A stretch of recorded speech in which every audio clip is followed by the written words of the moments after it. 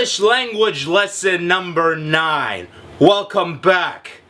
By now, I'm sure that you've learned a lot in the Polish language, but we need to step back a little bit.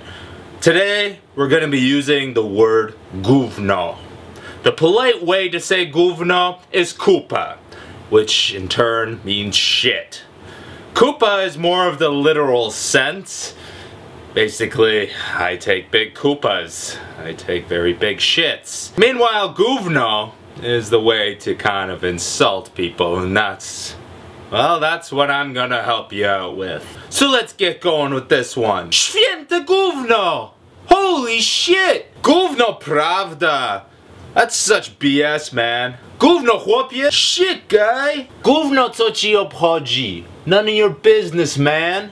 Jedz gówno! Eat shit! This word is also very useful to insult a woman that you want to insult. For instance, you can say, Twoje oczy wyglądają jak gówno, twoje uszy wyglądają jak gówno, twoja twarz wygląda jak gówno, twoja szyja wygląda jak gówno, twoje włosy wyglądają jak gówno, twoje nogi wyglądają jak gówno, twoja dupa wygląda jak gówno, jesteś dupa, twoje stopy wyglądają jak gówno, twoje nogi wyglądają jak gówno, twoje jajka wyglądają jak gówno, twoje kiełbasa wygląda jak gówno, twój brzuch wygląda jak gówno, twoje plecy wyglądają jak gówno, twoje tycki wyglądają jak gówno, twoje paznokcie wyglądają jak gówno, twoje ubranie wyglądają jak gówno, twoja muzyka brzmi jak gówno, twoje gotowanie smakuje jak gówno, twoje kupy wyglądają jak gówno. Wait, that, that, that's actually true. Your shit really does look like, like shit.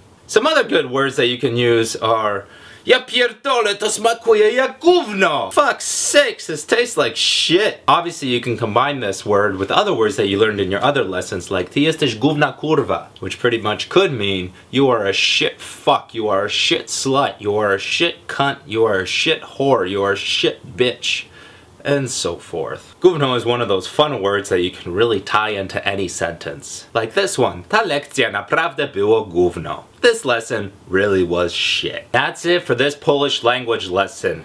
Make sure that you are subscribed to this channel by clicking this button or wherever the hell the subscribe button is so that you are notified of future Polish language lessons.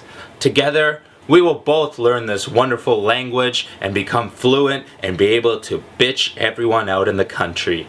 Thank you for tuning in.